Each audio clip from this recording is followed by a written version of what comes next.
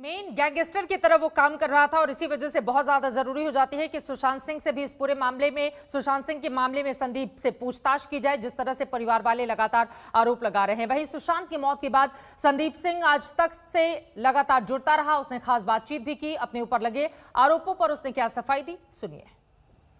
मैं अपने दोस्त के घर, संजीव जी हाँ संजीव जी के घर में पहुँचा।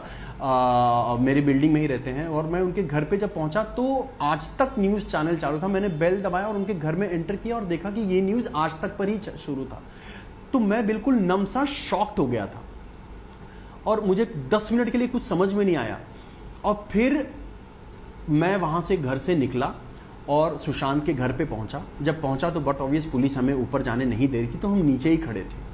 और एक बार जब सुशांत के बॉडी को लिफ्ट से लाया गया और रखा गया स्ट्रेचर पे और जब वो एंबुलेंस में लेके चले गए वो लोग तब पुलिस ने हमारा नंबर लिया और हमसे बातचीत की और उसके बाद उन्होंने हमें कॉल किया और हमें बताया कि कूपर हॉस्पिटल में उनका पोस्टमार्टम के लिए उनको लेके जा रहे हैं। आप उस घर में अंदर जा पाए थे? क्या आपने उनकी बॉडी को निकलते हुए देखा था? बॉडी को पास से आप देख पाए थे? नहीं अंजना नहीं अंजना नहीं अंजना। ये बात मैं यहाँ क्लियर करना चाहूँगा, बहुत अच्छा सवाल है आपका, कि मैं अपने दोस्तों के साथ उनके लिफ्ट के पास ही खड़ा था, क्योंकि ऊपर जाना पुलिस ने अलाउ नहीं किया था, कोई भी नहीं जा सकता था। एक बार जब बॉडी एंबुलेंस से चली गई, पुलिस ने हमसे बातचीत कर ली, फिर हम सब ऊपर गए कि अब आगे क्या करना है। उसके बाद मैं और मीतू दीदी एक गाड़ी में कूपर हॉस्पिटल के लिए निकले क्योंकि सारी डॉक्टरों से बातचीत करनी थी पुलिस ने बोला था और डिटेल्स चाहिए थे, सारी चीज़ों का एक आधार कार्ड लेके जाना था, एक लाइसेंस लेके जाना था तो वो एक परिवार के सदस्य को जाना बहुत ज़रूरी था। तो मैं मीतू दीदी को लेके हॉस्पिटल गया था और वो सारी चीज़ें, फॉर्मेलिटी पूरी हुई और उसके बाद हम वापस घर चले गए और घर पे ही थे हम। हम सब अभी भी शौक थे अंजना जी। हम सब इसका सवाल और पूरी हिंदुस्तान इसका सवाल सवाल कर रही है और मैं ये रिक्वेस्ट करना चाहता हूँ गवर्नमेंट से कि प्लीज़ अब ये सीबीआई इंक्वायरी पे चली जाए।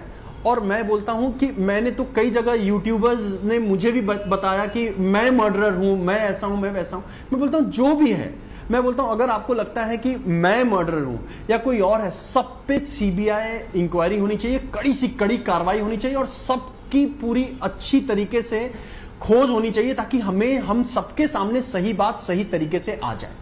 वो बहुत इंपॉर्टेंट है। तीस जुलाई का संदीप सिंह का ये इंटरव्यू आप देख रहे थे, आपको ये भी बताते चले कि लगातार एक तरफ़ रिया चक्रवर्ती सत्यमेव जयते कहते हुए सीबीआई जाँच की मांग वो कर चुकी थी 16 जुलाई को। अब संदीप सिंह जो सवालों के घेरे में है, ये भी जब हमारे साथ जुलाई में जुड़ा हुआ था तो सीबीआई जाँच की मांग कर रहा था। मामला काफ़ी ज़्यादा पेचीदा हो गया है, लेकिन अपडेट आपके सामने है। सुशांत केस में सीबीआई जाँच का पांचवा दिन है। सीबीआई आज फिर से नीरज सिद्धार्थ पठानी और रजत मेवासी से पूछताछ कर रही है। सुशांत के सीए संदीप श्रीधर से भी पूछताछ हो रही है।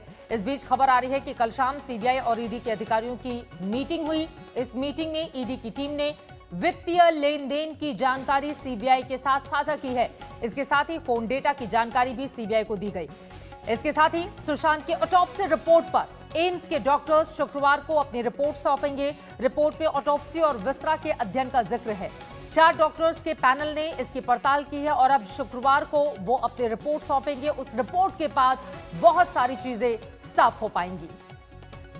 इस सबसे बड़ी खबर पर आज तक की नज़र लगातार बनी रहेगी। एक एक पहलू आप तक पहुंचाएँगे। तमाम एक्सपर्ट भी हमारे साथ लगातार आज तक पर।